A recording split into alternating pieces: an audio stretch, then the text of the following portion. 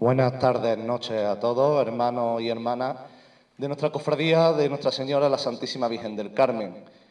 Este año tenemos esta novedad, una novedad muy bonita. Empezamos la víspera de julio, la solemnidad de la Virgen del Carmen. Siempre nosotros hemos publicado el cartel que ha anunciado las fiestas solemnes de nuestra titular el 1 de julio, el 1 de julio en las redes sociales de la cofradía. Y este año ha tenido bien el Cabildo Oficiales a querer hacer este acto, este acto de hermandad, en el que el día de antes que empiece julio, en este día de transición, se dé el pistoletazo de salida, ese pistoletazo de salida que siempre se hacía en el pregón y que hoy se avanza. Así que también mi enhorabuena a la Junta de Gobierno por esta idea que hace que nos reunamos los carmelitas un poquito antes y que hace que tengamos un acto de hermandad único y hermoso en torno a la Virgen del Carmen, en estas caballerizas del Palacio de Don Señor hermano mayor de la Cofradía de la Virgen del Carmen, Antonio Jurado Parra, muy buenas tardes. Señor conciliario, Ángel Sánchez, muy buenas tardes.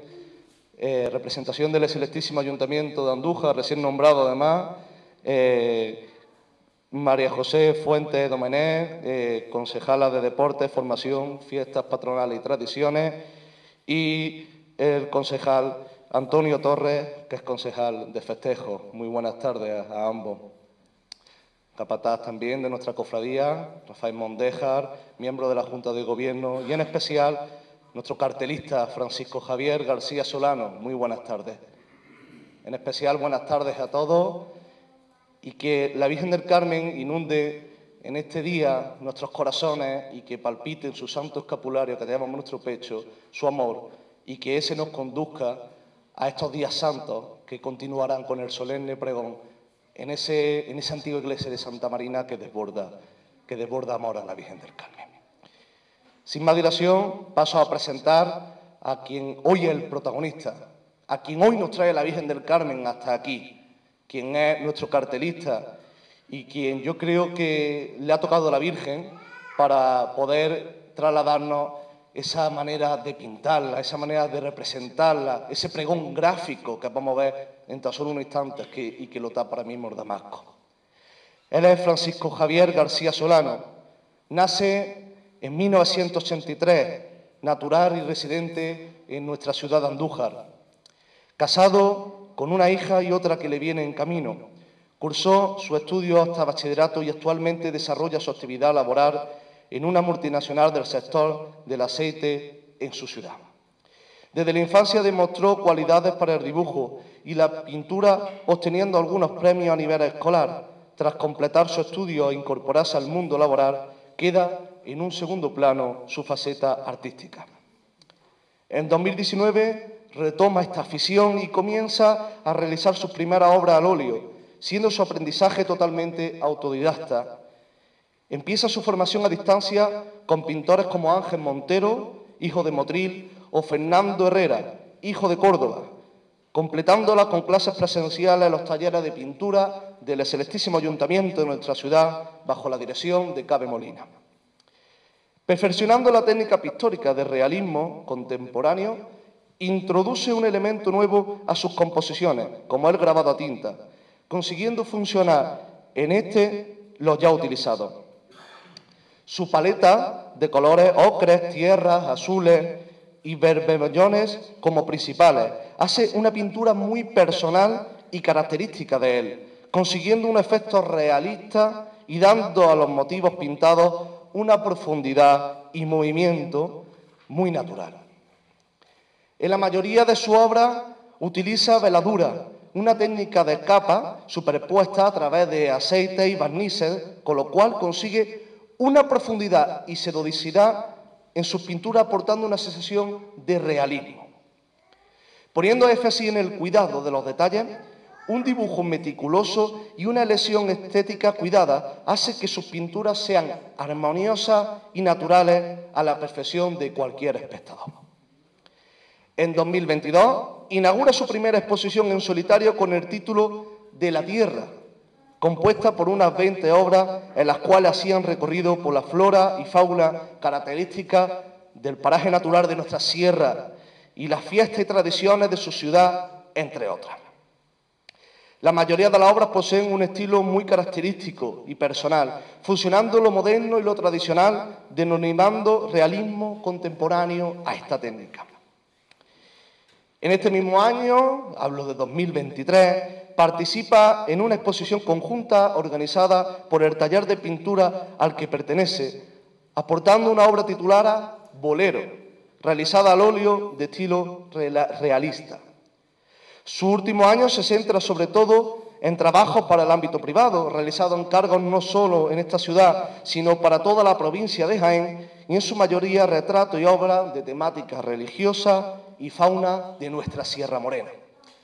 Pues como podrán contemplar todos ustedes a continuación, cuando vean el cartel, es la persona idónea e indicada para festejar nuestra fiesta, valga la redundancia, de la Virgen del Carmen, ya que será él y es el que ha representado a nuestra madre y el que, como decía, hace un pregón gráfico único. Francisco Javier García Solano ha sido este año nuestro cartelista y es el que llama ahora mismo a este atril, a este escenario, para descubrir ya por fin el cartel junto a nuestro hermano mayor, Antonio Jurado Parra.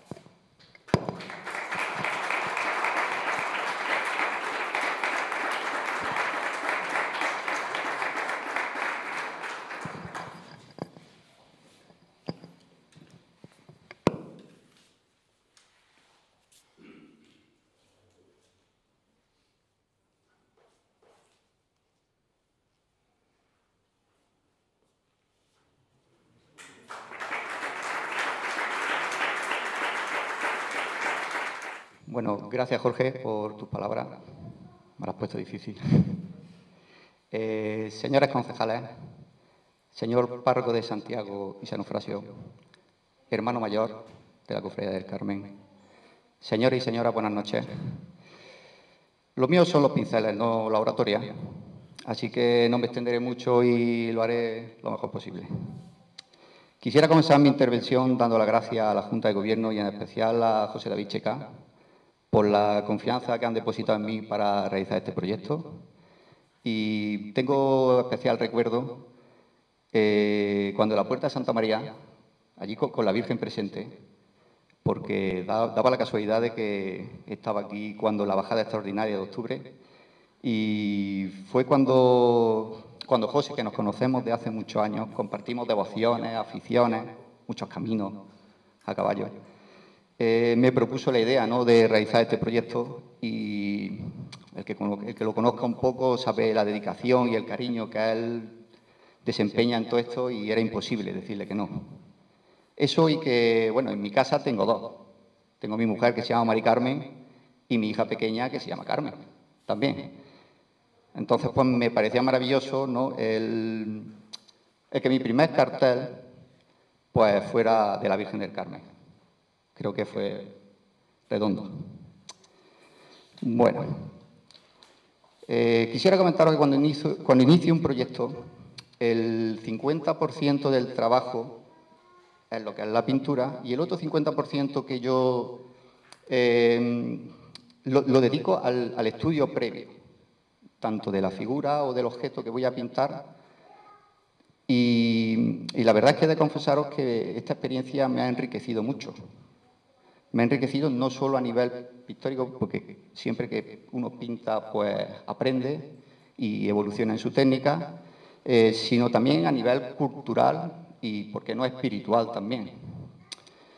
Eh, porque he tenido la oportunidad de conocer mejor la historia, tanto de, pues, de, esta vocación y de la hermandad en sí, y bueno, ha sido muy, muy enriquecedora, ¿no?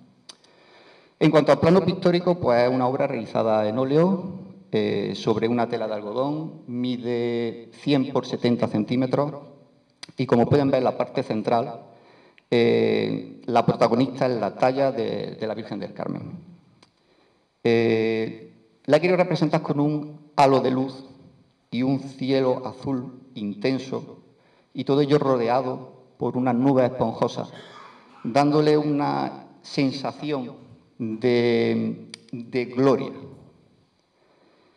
Eh, en las nubes podemos observar que hay varios angelotes, uno de ellos representado solamente por cabeza y alas, y otro de cuerpo entero, como pueden ver en la parte de abajo. Y este, este precisamente de la parte de abajo eh, lleva en sus manos un ramillete de flores de jazmín, haciéndole un guiño a, bueno, al sobrenombre también que se le conoce como la Virgen Jazminera, ¿no? Y ahora yo creo que todos nuestros hermanos, nuestros cofrades, están haciendo lo propio y los que nos vengan a través de los medios de comunicación, aquí agradecemos también su asistencia, van a hacer lo mismo y a partir de mañana, que ya 1 de julio, ya el mes de la Virgen, qué bonita manera de comenzar con este maravilloso cartel que nos has traído, gracias a tus manos, nos has traído a la Virgen hasta estas caballerizas, porque aquí está. Muchísimas gracias por todo. El año pasado coincidí con vosotros en el pregón en Santa Marina, pero ahí fue de rebote, fue porque por circunstancias de los compañeros, pues tuve la gran oportunidad de conocer ya en primera persona lo que es esta cofradía. Y mira por dónde, pues ahora me toca acompañaros en esta oportunidad pionera de adelantar este cartel, no ya por las redes, que está muy bien, llega a muchos sitios, sino, como digo yo, en carne y hueso, ¿no? Aquí físicamente este cartel. Lo estado contemplando, digo Javier, me ha gustado mucho tu explicación de los detallillos. Y también desde, el banco se veía eh, curiosamente el rosario con en un relieve eh, maravilloso. Cómo se dejaba caer y cómo transmitía esa oración mariana que nos acerca a Jesucristo, ¿no? Y luego también, como bien dice, eh, la estrella de la mar en un Jaén que ya sabéis que se le conoce como mar de olivos. Todo obispo que viene aquí a Jaén lo dice constantemente, es un mar de olivos. Yo también recuerdo que había familia mía que venían desde Valencia y al entrar por la Sierra de Segura, por Génade, ya estaba el olivo. Llegaba hasta Andújar y olivo. Y ella, en cierto modo, es también estrella en nuestro mar de olivo. ¿no? Así que gracias por tu detalle, también por tu familia en ese apoyo tan esencial y el realismo con el que nos acerca a la Virgen María. Enhorabuena, que la Virgen también te bendiga y te acompañe.